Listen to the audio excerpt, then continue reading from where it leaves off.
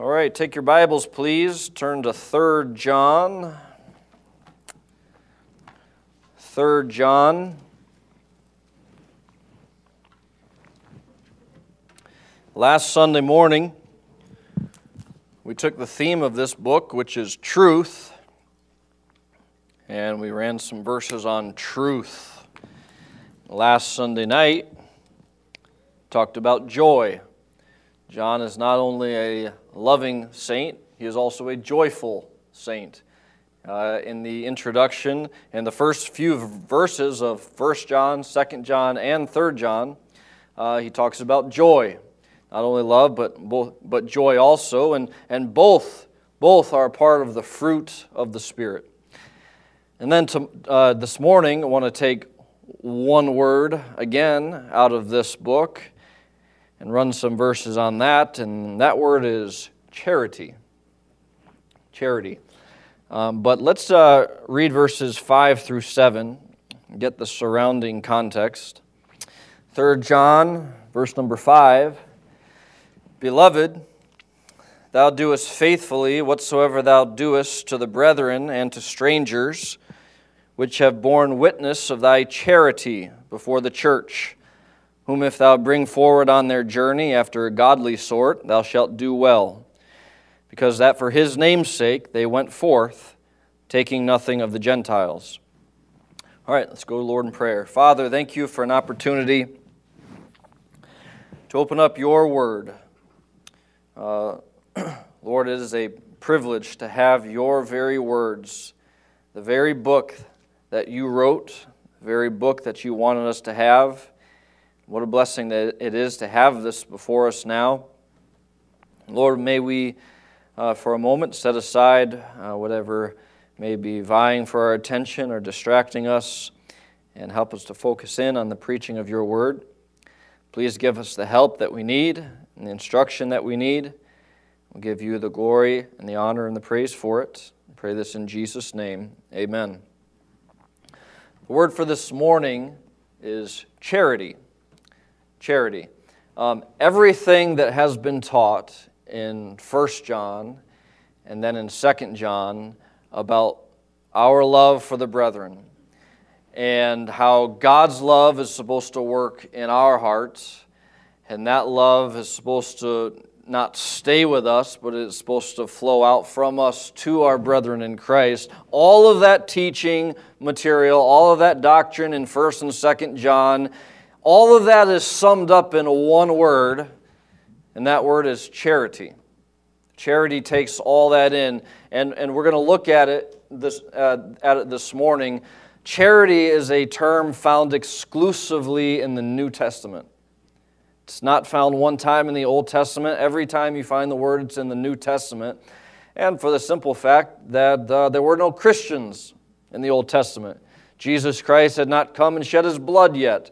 Uh, God had his saints, he had people that put faith in him, but Jesus Christ had not shed his blood yet. The church had not begun yet. And so, this, uh, this truth about one body in Jesus Christ, of which Christ is the head, that was not in existence before Christ came. And, and so, you don't see this word charity uh, found in the Old Testament. You find it only in the New Testament. And charity is love but it's more than love, it's a specific kind of love. And hopefully, we'll all see that this morning. Charity is the love specifically between brothers and sisters in Christ.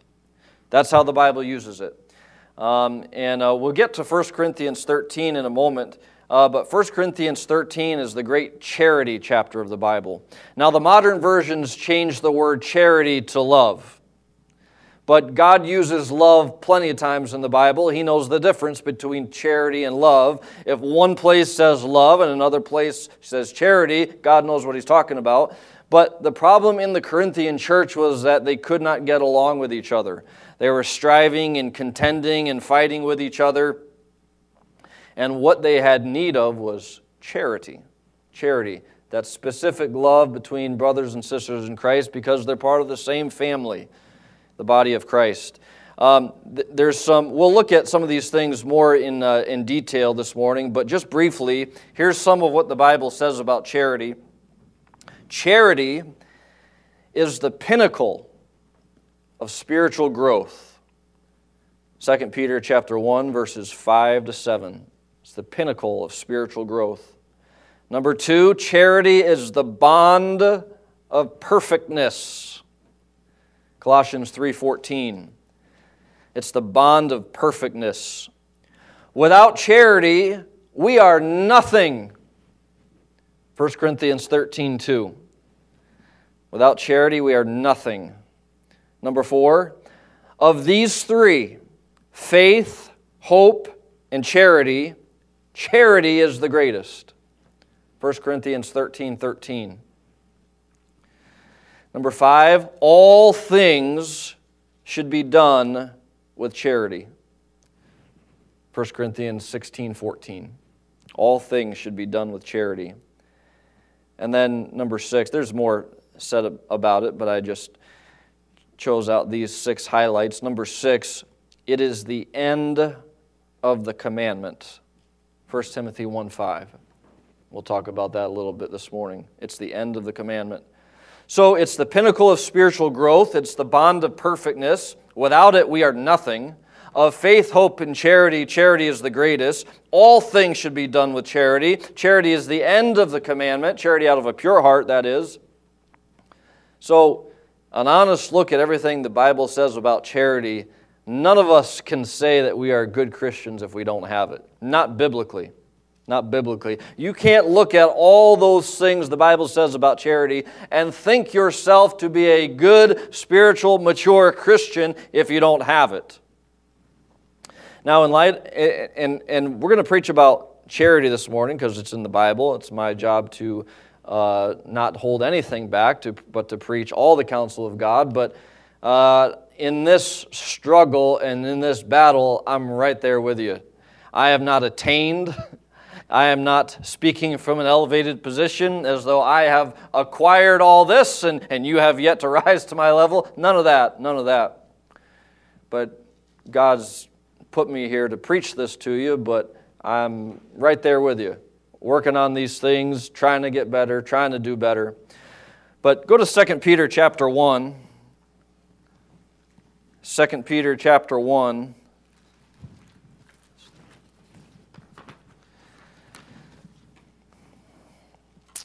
Look at verse number 5. 2 Peter chapter 1 verse number 5 and beside this, giving all diligence, add to your faith virtue and the virtue knowledge, and then it goes on down the list. But first thing I want to say this morning is Are you saved?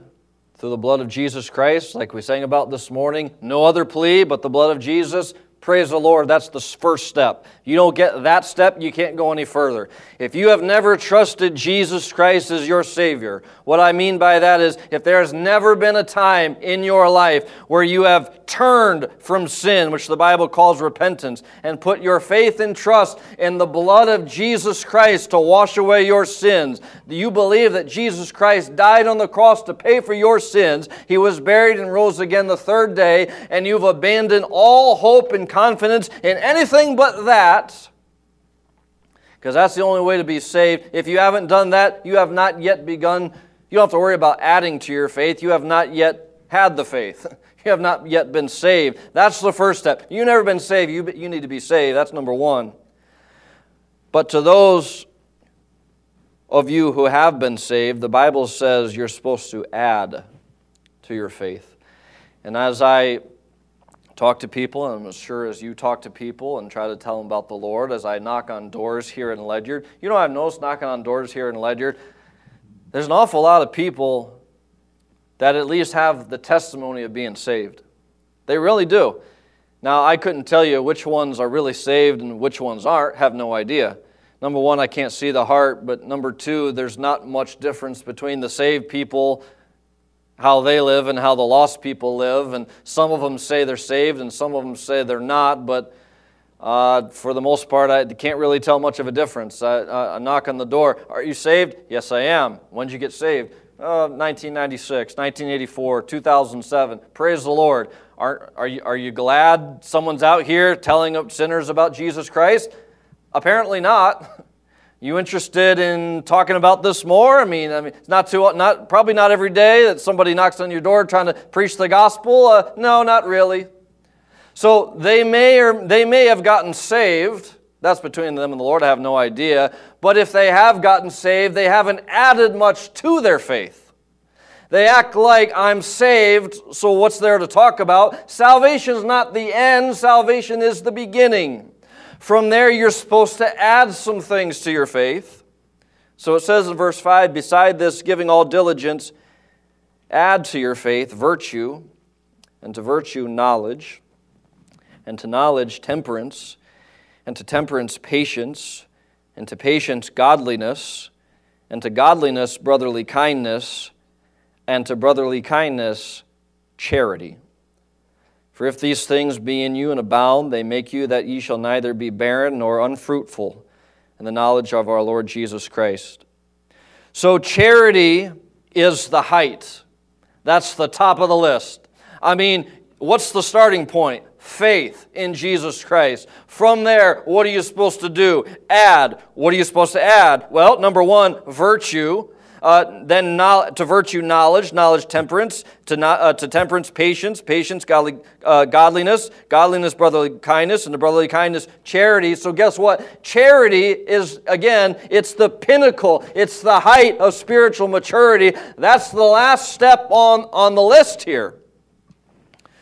So, but here's, here's, here's the mistake, and here's the error that so many modern Christians make they, they see this and they acknowledge this that charity is higher than virtue and knowledge and temperance and godliness and all the, all the other things. They say charity is the top. So you know what they do? They act like everything else is, is not important. The only thing that matters is charity because charity is the top, charity is the greatest. So don't worry about knowledge. Don't, stu- don't study your Bible. Don't worry about the other things. I mean, all we need is love. All we need is charity. But here's what they don't understand charity is the top rung in the ladder. Well, you can't get to the top step without taking all the other steps. It's a process. You can't start there, but that's where it's supposed to end. The Bible says, take, take for example, it says in verse 5 Beside this, giving all diligence, add to your faith virtue, and to virtue knowledge so someone says, well, knowledge is way down on that list. I think what's more important is charity. So I'll just I'll just love people. I won't worry about reading my Bible. I won't study. I won't worry about studying my Bible. I'll have the main thing. I'll have the top thing. But you can't skip the process. You can't skip steps. You're supposed to add this to this and this to this and this to this because charity without knowledge ends up being perversion. It's not real love. It's not true love. What was it? I, I think it was either 2014 or 2015. If my memory serves me right, the Supreme Court said states are no longer allowed to block sodomites not homosexuals. The Bible word is sodomites. They're no longer to, allowed to block sodomites from getting married. Everybody has to allow it. Every state has to allow it. And, and, and they showed people holding signs saying what? Love wins, right? Maybe some of you are too young to remember that. But love wins. No, love didn't win. Perversion won. Sin won. Iniquity won. But you know what they had? They had love, but they didn't have any knowledge with that love, so it wasn't true love, it was perversion. So you can't say, all I need is charity, I don't need knowledge. Without the knowledge, your charity will be misplaced. Your love will be misplaced. You, don't, you won't know what to love. You won't know what to hate, what to love. You'll be all out of balance. Look at take another one for example. It says in verse 6 and to knowledge, temperance, and to temperance, patience. Patience, godliness. You know, another thing on the list is patience. Well, guess what? If you just try to have charity, but you don't have any patience, you'll, you might start out trying to have patience, or you might start out trying to have charity, but it won't last because people require patience. Okay, I'm going to be charitable. And it lasts about five seconds till someone gets on your nerves. Now you don't have any charity anymore. You need patience. So this is a process, and you don't start with charity, but that is the height, that's the pinnacle. It's charity. Look at 1 Corinthians chapter 13. 1 Corinthians chapter 13. So what does it all come down to? What does all that come down to? Every word of God is pure, and you need everything God had to say. You don't pick and choose, I think this is important this is not important. Everything God says is important. Imagine standing before the Lord on Judgment Day and he had given you a book, and you explained to him why some parts of his Bible were important, and some of the things he wrote wasn't all that important. So you, you focus on some things, but you didn't worry about these things. I mean, imagine standing before the Lord in Judgment Day and saying that to him. I mean, it's one thing to say that to somebody else. Uh, imagine telling him that something he had to say wasn't that important. Everything God says is important. You need it all. Look at 1 Corinthians 13. Now, 13 I, I, like, I like studying these things out, Bible numerology. Some people really take it into extremes and make things up that aren't there, but the, God does use numbers for reasons. 13 your Bible, if you, if you trace it out, if you study it out, is the number of rebellion. Um, and say, why is, why is this, why is charity, why is the chapter on charity in 1 Corinthians 13? Because it's a rebuke that they don't have any. 1 Corinthians 13, which has 13 verses in it, is a verse all about charity. It is a rebuke to the Corinthian church because they didn't have any charity. And uh, I would say that if God wrote an entire chapter describing one attribute, that's pretty important. Here's an entire chapter devoted to one thing charity. Let's look at it a little bit here this morning. 1 Corinthians chapter 13, verse number 1. Though I speak with the tongues of men and of angels, and have not charity, I am become as sounding brass or a tinkling cymbal. You know what that is? Just a bunch of annoying noise. Now, here's the reality of the situation, folks. If we are going to uh, be part of this church for any length of time, months down the road, years down the road, you know what that requires from time to time? Hopefully, not too often, but eventually, you know what it requires from time to time? A reproof or a rebuke. Hey, brother, I'm just, I just got to tell you, this, that's not right. Sister, I just got to tell you, that's wrong right there. You know what that requires?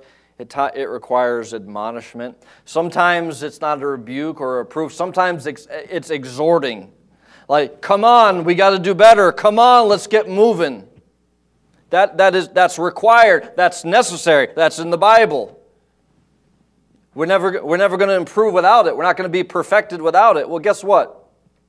If I don't have charity to you, you are not going to receive that, though what I have to say may be absolutely true. And if you don't have charity towards me, when you try to correct me, though what you say very well may be true, I'm probably not likely to receive it because all that is is a bunch of noise. So, guess what?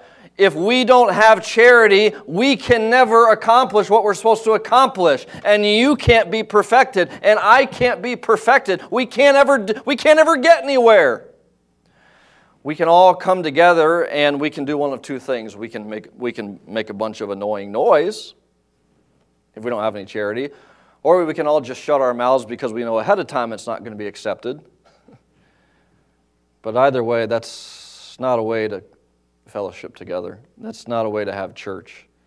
How about we have charity consistent genuine concern one for another. And then on those rare occasions when someone does need a rebuke or someone does need admonishment or exhortation, guess what?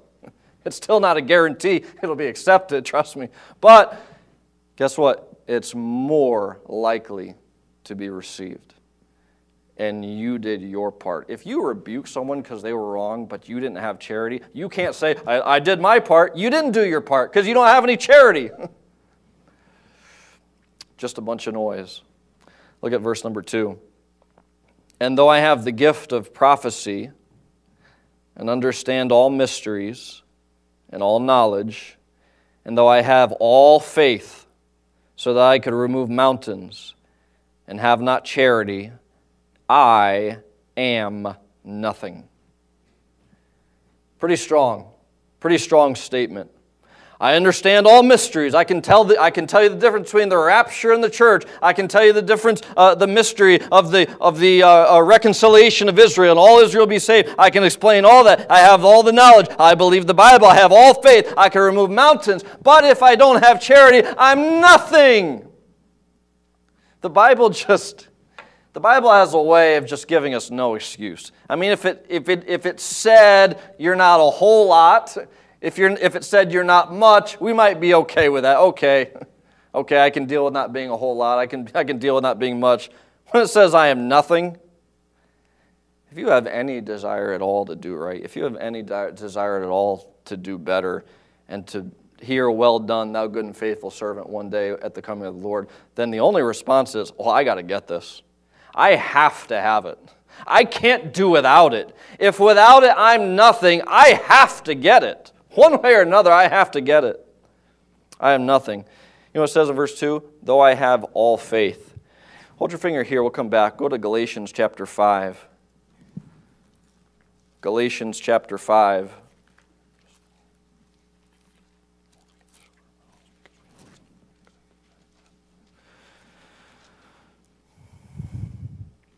Galatians chapter 5, verse number 6. For in Jesus Christ neither circumcision availeth anything, nor uncircumcision, but faith which worketh by love.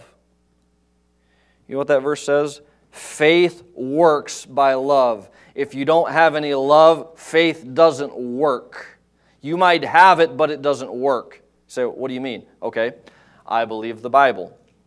I, I, believe everything the Bible says. I have the knowledge, I have the faith. God's love is supposed to be in my heart.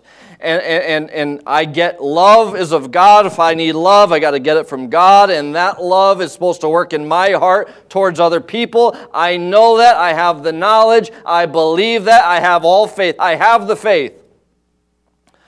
But if I don't love you, if you don't love me, though you have the knowledge and you, though you have the faith, you will have no desire to use that knowledge. You will have no desire to use what you know and use what you believe. Yes, I know how it's supposed to work, but I really don't care to use it. I really don't care to put it into practice because I don't love that person. Faith works by love. If you don't have love, you might have faith, but it's not profiting, it's not helping. So we're looking at charity this morning. You can look in your heart, and I can look in my heart, and guess what? We can learn all the facts about charity. And we can walk out of here this morning have a great, have a, having a greater understanding of charity. But if in our heart our love hasn't increased and we don't really love, all we've learned is more facts. We have knowledge and we have faith, but it's not working. It's not working because there's no love. Go back with me to 1 Corinthians 13. 1 Corinthians chapter 13, look at verse 3. And though I bestow all my goods to feed the poor, and though I give my body to be burned, and have not charity, it profiteth me nothing. I am loving, I am charitable. Do you see what I just, do you see how much uh, money I just gave? You see the check I just wrote? That proves I am loving. That proves I am charitable. The Bible says you could give every dime you have in the world. That doesn't mean you have charity. The Bible says you could give all your goods to feed the poor and still not have charity. You can't write a check as a substitute for not getting your heart right.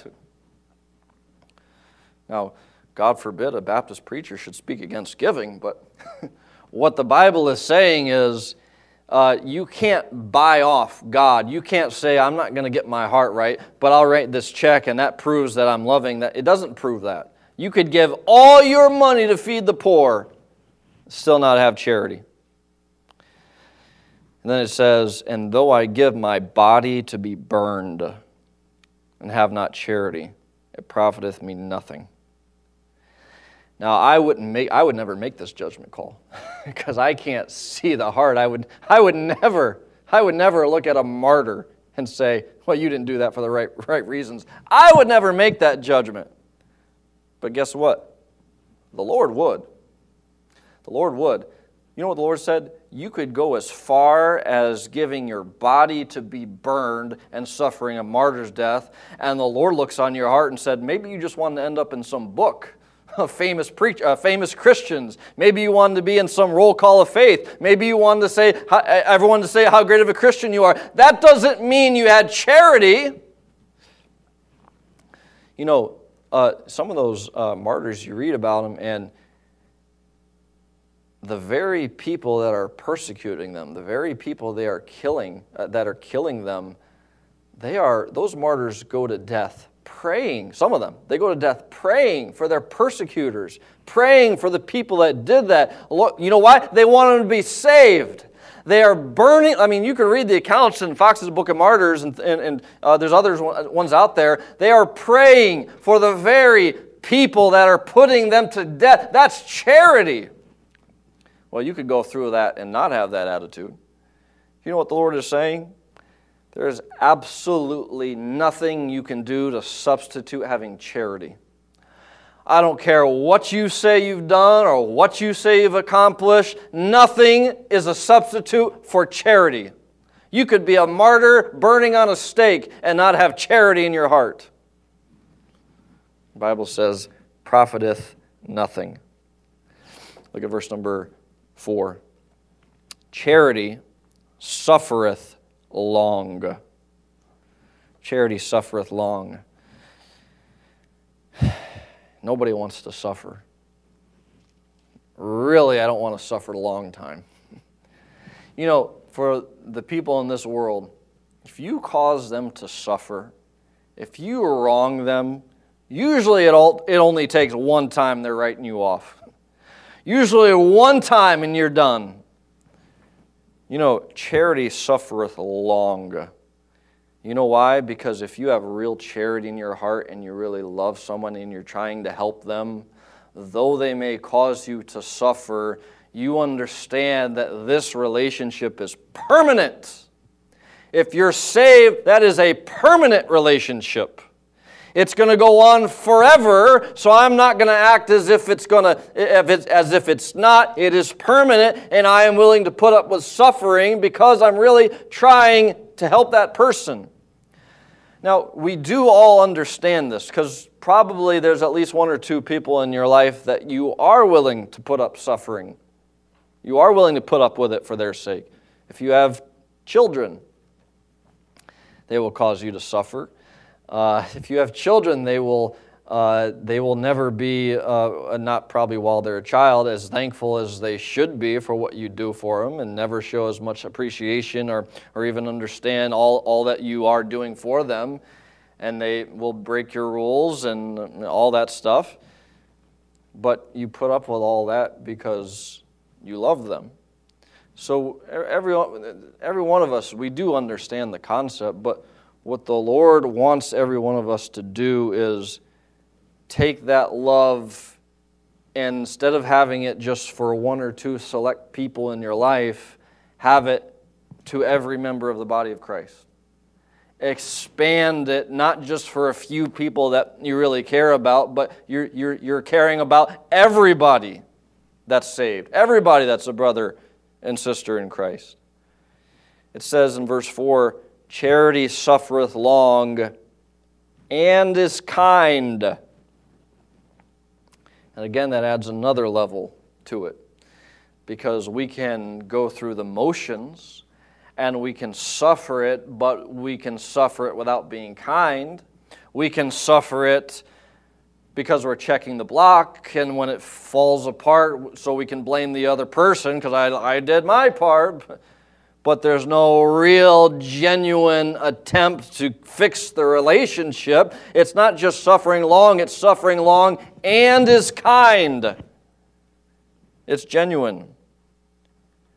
Charity suffereth long and is kind. Charity envieth not. Again, this is this, this chapter is in the whole context of Christians who can't get along with each other, Christians who are fighting with each other. That's the whole context of the book of 1 Corinthians. You know what charity does? It doesn't envy. In other words, here's someone I don't like. Here's someone that annoys me. Here's someone that gives me a problem. And God's blessing falls upon him. And everything goes well for him. Everything goes right for him. God, how can you bless them? They're annoying me. I don't understand. And you know what? You're okay with them being blessed. You're okay. In fact, you're happy that God is blessing them. You're happy that things are going well with them. You're not envying them. Charity envieth not. Charity vaunteth not itself. That's boasting, bragging, is not puffed up. So when someone disrespects you, when someone disrespects me, when they don't give us the utmost level of respect that we think we've achieved in our life, we take offense. And what do we do? Puff ourselves up. Don't, don't you know who I am? Yes, that's why they're saying what they're saying. Don't you know who I am? Don't you know what I've done? Don't you know what I've accomplished? And so it becomes a competition. Who's better? Who's stronger? Who's more spiritual? Who's this? And, and both people just get puffed up and, and bragging and boasting, and I've done this and I've done this. Well, but isn't, isn't the Lord who won, isn't the Lord the one that helps you do anything you've ever done? Isn't, isn't it true that without Him we can do nothing? We're all willing to acknowledge that we can't do anything without Him, but as, someone, as soon as someone disrespects us, now all of a sudden we did it. Now all of a sudden we accomplished it. Now all of a sudden we got here by ourselves. Charity doesn't vaunt itself, it doesn't puff itself up because it knows, guess what? I'm just a sinner saved by grace just like you. And you can, you can disrespect me and all that, but that's not going to change my love for you. So, verse 4 Charity suffereth long and is kind. Charity envieth not. Charity vaunteth not itself, is not puffed up. Verse 5 Doth not behave itself unseemly. Can't we all look and act like great Christians while, while we're at church? But how about when you get home and someone crosses you? How about at school or at work and someone does something unkind to you? Isn't it amazing how quickly we can change? Uh, uns- unseemly, inappropriate, not proper, doesn't behave itself unseemly. Your conduct is not going to change me. You're not going to change me and put me back in the flesh. Doth not behave itself unseemly. Look at the next one. Seeketh not her own seeketh not her own. If you are only going to love people because what you get out of it in return, eventually you're going to stop loving people. Because nobody's ever going to give you what you think you have coming and what you think you deserve. But if you're, if you're being loving, if you're being helpful, if you're doing what good you are, really solely for the benefit of that person, then if you don't get anything out of it, well, oh well, you didn't do it for yourself, you did it for them. So it's a heart check. Heart check. I am, I'm helping someone, I'm being kind to them, I'm being good to them. Now I realize they haven't responded in a way I think they should respond. They haven't expressed enough gratitude or appreciation like I think I deserve. Now, now am I going to change? Or am I going to still be good to them?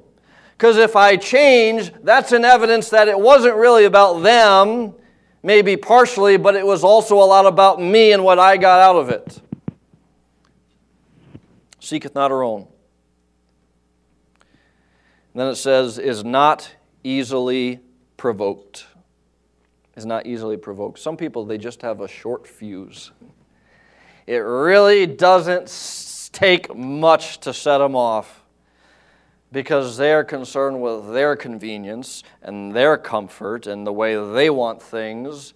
They're not concerned with the other person. And so it doesn't take much to set them off. Is not easily provoked.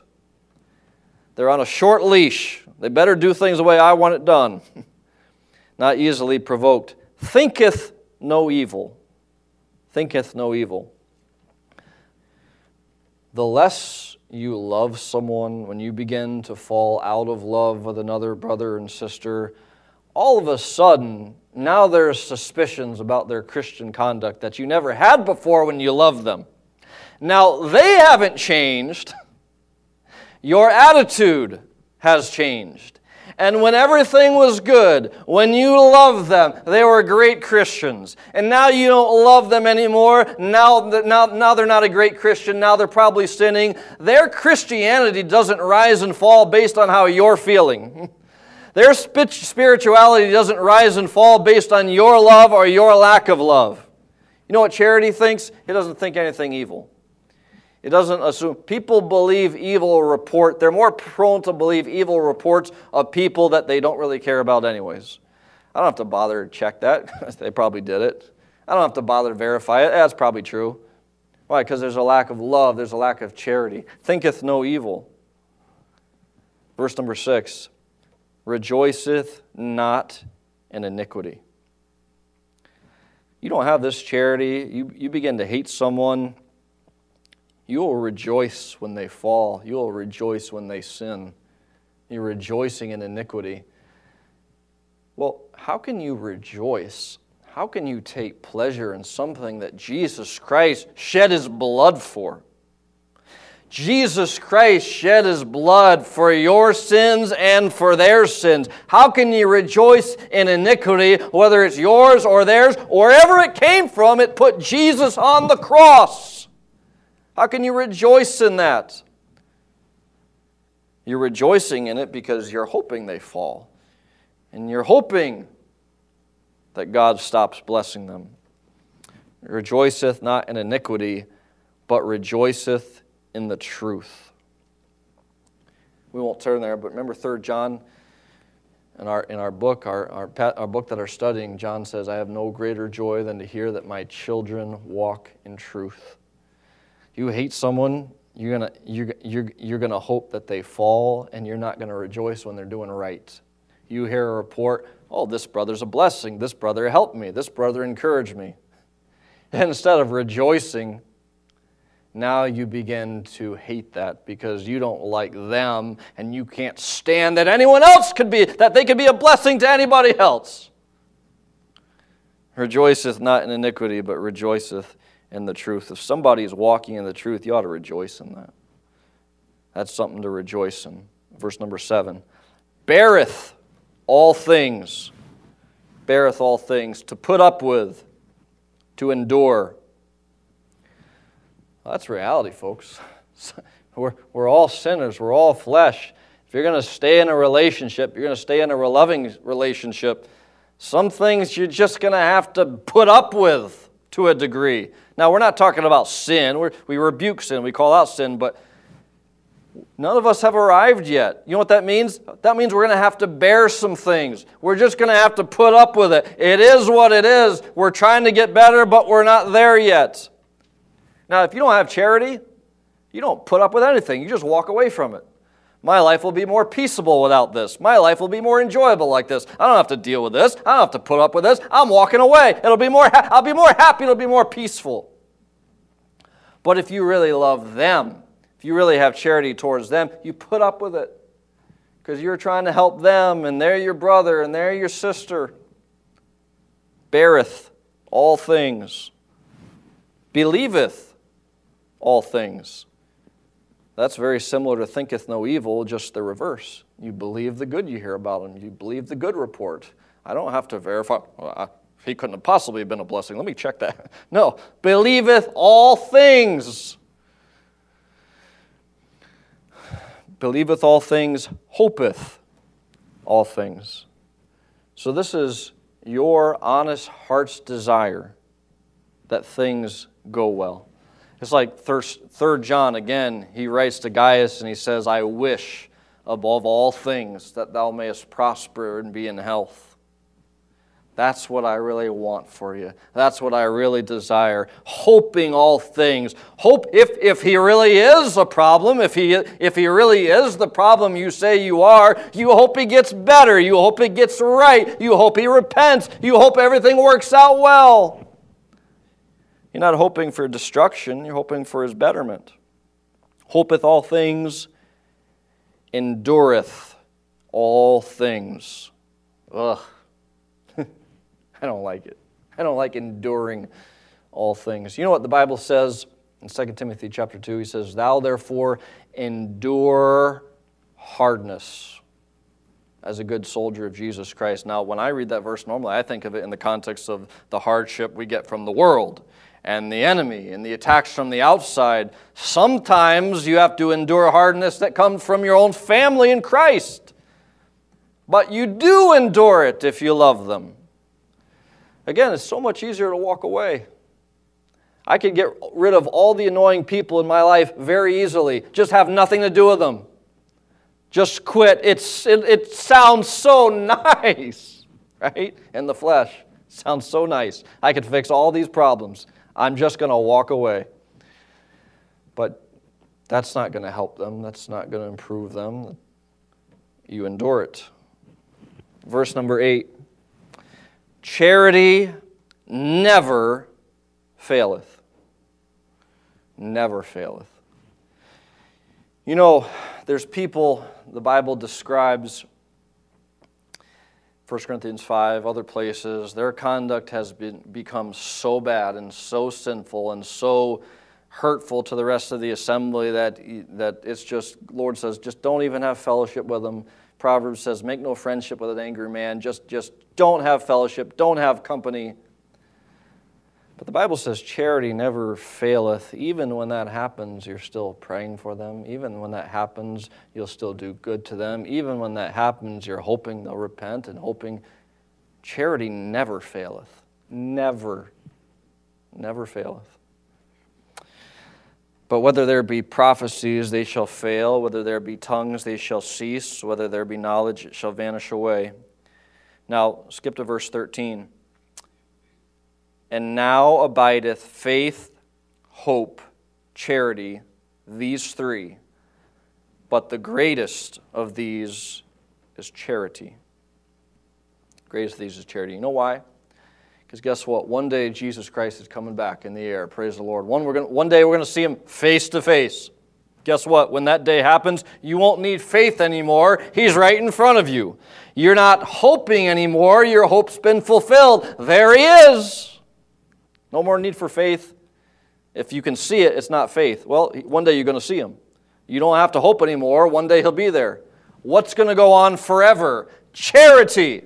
What doesn't have an expiration date? Charity. Faith has an expiration date. Hope has an expiration date when you see Christ. Charity doesn't have an expir- expiration date. Charity goes on forever.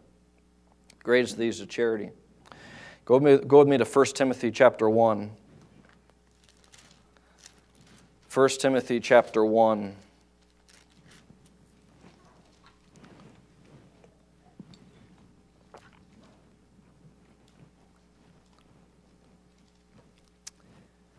1 Timothy chapter 1, verse number 5.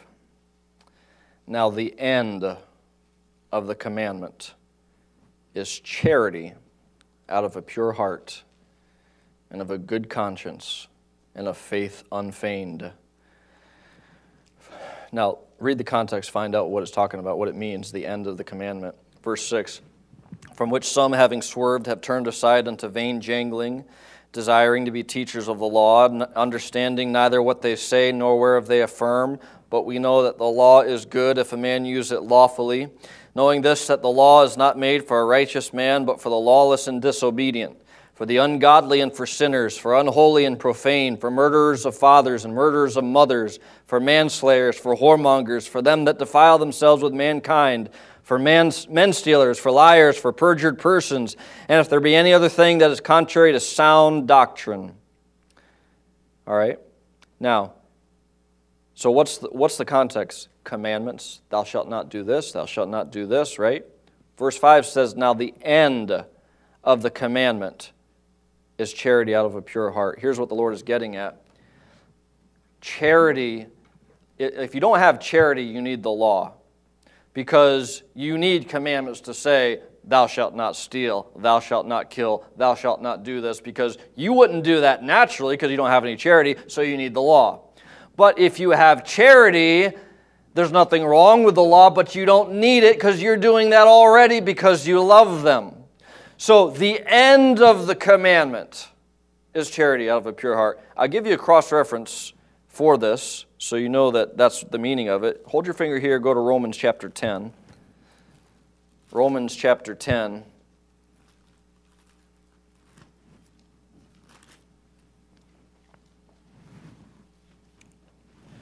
Romans chapter 10, verse number 1. Brethren, my heart's desire and prayer to God for Israel is that they might be saved. For I bear them record that they have a zeal of God, but not according to knowledge. For they, being ignorant of God's righteousness and going about to establish their own righteousness, have not submitted themselves unto the righteousness of God. For Christ is the end of the law for righteousness to everyone that believeth. All right? Christ is the end of the law for righteousness. In other words, the commandment is thou shalt not kill, thou shalt not steal. All the commandments that proves you guilty, what is it supposed to do for the sinner? It's supposed to bring them to the end where they realize I can't measure up to God's standards. I don't measure up to his righteousness and I need Jesus Christ to be my savior. So Christ is the end of the law. When you reach the end, where does it bring you? Christ. Okay, so 1 Timothy chapter 1, verse number 5. Now the end of the commandment is charity out of a pure heart. You know what the Lord wants to bring every one of us to? He wants us to bring us to the place where we're not doing these things because we have to, but because we genuinely love people and we want to do it. Everything we read in 1 Corinthians 13, my flesh says, I don't want to do that. The Lord wants us bring us bring us to the place where that's what we want to do because we really do love that person. The end of the commandment. Go with me to 1 Peter chapter 1. 1 Peter chapter 1.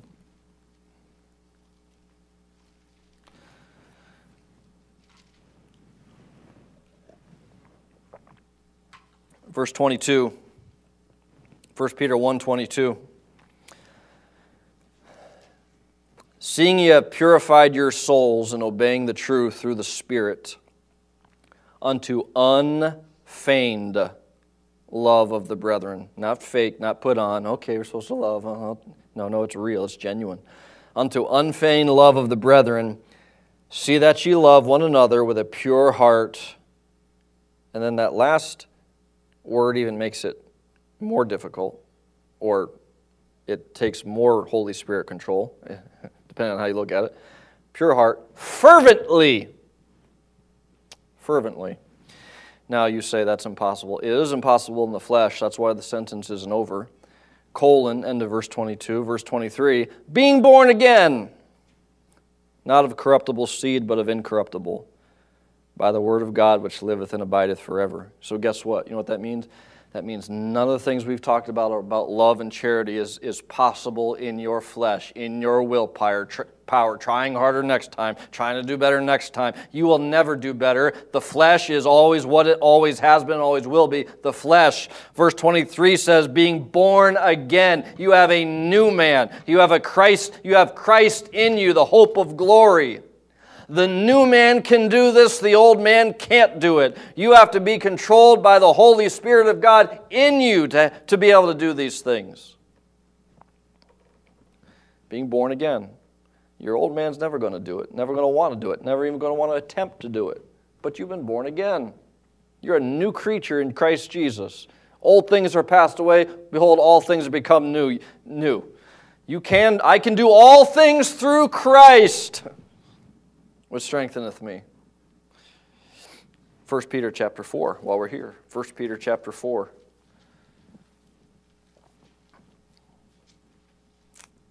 Verse number 7. 1 Peter 4 7. but the end of all things is at hand. Be therefore sober and watch unto prayer. And above all things, have fervent charity among yourselves. See, that's it's, it's love between Christians. Have fervent charity among yourselves. For charity shall cover the multitude of sins. You know what charity does? It doesn't take away sins, it covers them. Guess what? In any relationship, husband and wife, children and parents, church members, guess what? All have sinned. I've sinned against you, you sinned against me. Guess what? I can't take away your sins, you can't take away my sins. As far as our relationship goes, they're there. But you know what we can do? We can cover those sins. In other words, hide them from our eyes, not bring them to the forefront of our attention, not dwell upon them, not bring them up, not throw them in their face. Charity will cover the multitude of sins. Doesn't take it away, but I'm covering it. It's not affecting my relationship with you. It's covered. Well, how big of a multitude? Well, one time Peter really thought he was going out on a limb. He said, Lord, how oft shall I forgive my brother? Till seven times? I mean, that sounded like a lot to, me, to him. And, and the Lord said, uh, Try 70 times seven. What? Lord, we need our faith increased. multitude, you sins. How big of a multitude? Charity never faileth. Never faileth. Go with me to Colossians chapter 3. Colossians chapter 3.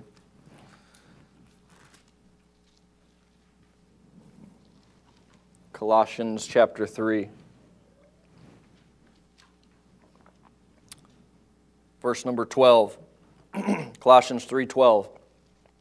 Put on therefore as the elect of God, holy and beloved, bowels of mercies, kindness, humbleness of mind, meekness, long-suffering. Now, you know why you have to put all these things on? Because they don't come on naturally. They're not there by nature. You have to put them on every day. Verse 13 forbearing one another and forgiving one another. Now, why would the Lord tell us to forbear one another and forgive one another if we were never going to have any need of forgiveness? If we were going to never have any need to be forbeared, right? The Lord just takes it for granted. You're going to need to forgive each other. You're going to need to forbear one another. It's going to happen. Not a justification, but it's going to happen forbearing one another and forgiving one another. If any man have a quarrel against any, even as Christ forgave you, that's the key. Even as Christ forgave you, so also do ye. Never mind how they treated you. How has Christ treated you? He was merciful to you, He was kind to you when you never deserved it. He's still merciful to you, He's still kind to you. And you fail Him every day, and I do too. Hasn't changed Him, never will. Verse 14. And above all these things, it's, it's pretty strong, pretty strong. 1 Peter 4 8, above all things. Colossians 3:14 above all these things put on charity which is the bond of perfectness the bond bound you know what without charity there's nothing binding us together. And you might be here, but the connection is real loose. And if you don't have charity, real easy to walk away. If I don't have charity, real easy to walk away. You know why? Because there's no bond. There's no bond. There's nothing holding you together. We may be here, we may be assembled together, but there's no bond. the bond of perfectness. Perfectness in the Bible, perfect doesn't mean sinless, perfect means complete. Complete. You're not a perfected Christian, you're not a complete Christian without charity. Above all these things, put on charity. Look at verse 15. And let the peace of God rule in your hearts. All right, now keep it in the context. Don't isolate verse 15 by itself. Look back at verse 12. Put on, therefore, as the elect of God, holy and beloved, bowels of mercies, kindness. Look at the next phrase humbleness of mind. When someone offends you, when they disrespect you, if you don't have a humble mind, you know what happens? You lose your peace. I can't believe they don't think I'm the greatest. I can't believe that's this is their real assessment of who they think I am. If they really knew who I am and you just you just work yourself in a frenzy and you've lost all your peace because you're not humble in your mind. Verse 15, let the peace of God rule. It's there, but you've got to let it rule. You've got to let it have dominion, not the pride, not the contention coming out of your sinful heart, my sinful heart. And let the peace of God rule in your hearts, to the which also you're called. And now look at that, look at that last phrase, so also so key. And be thankful. You know, when, when you have a problem with someone, you tend to get tunnel vision. And that person, the person you don't like, the person you have a problem with, they are bigger than all of God's blessings. Apparently, because you can't think about God's blessings because you're focused on them. And, and everything God has done for you has been blocked out and put to the back burner and put to the side, and all your thoughts are on them. and you're not being thankful. If you would count your blessings, as the song says, and think about all the things that God has done for you, all the things you have to be thankful for, you would really put all this fighting in perspective, proper perspective. God's been really good to me. Uh, get uh, two places. Get um, 2 Timothy 2 and 1 Corinthians 14. 2 Timothy chapter 2, 1 Corinthians chapter 14.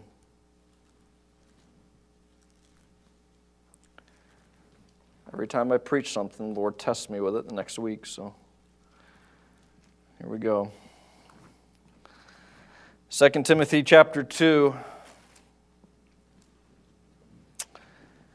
verse 22.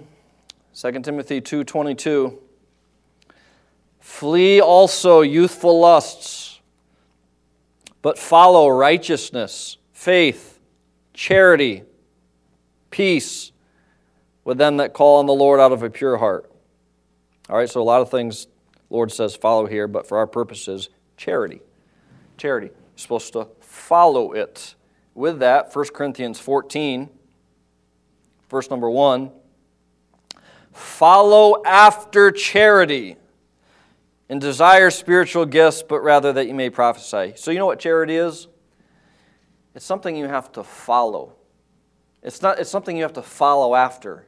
Because just when you get to the place where you think, well, praise the Lord, charity is in my heart. God, is, God has been working on me. God has helped me. I have charity. Just when you think that happens, somebody does something else. Somebody does something else. Or you remember what they said, you remember what they did, and that charity that you have attained to begins to flee away. You have to be constantly in pursuit of it. Constantly in pursuit. You got to follow it. While we're here in 1 Corinthians, look at chapter 16, 1 Corinthians 16.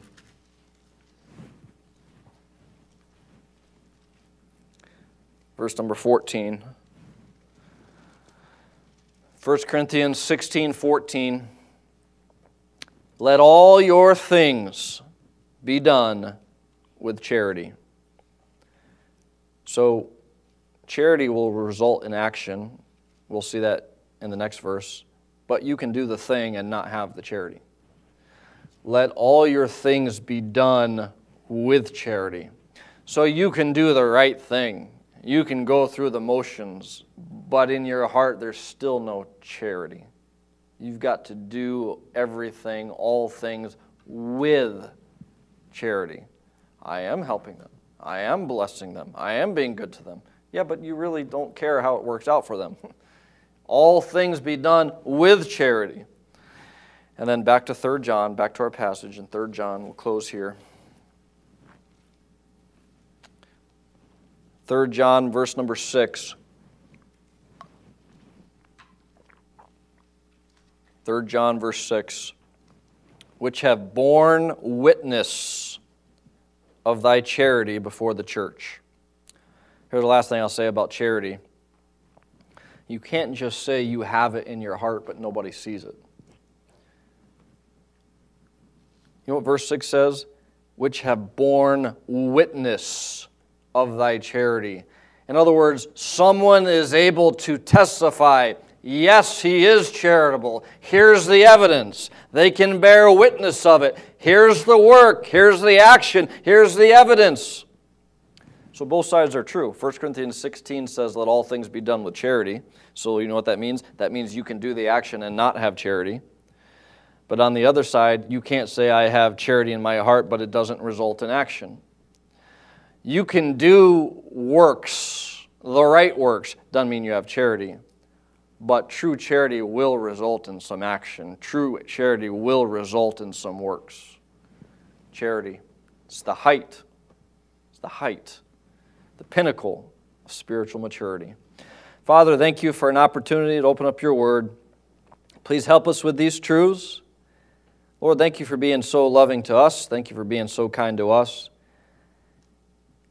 And Lord, I pray that your love would so fill our hearts, we would see ourselves the way you see us, and we would have no problem being charitable to others. Pray this in Jesus' name. Amen.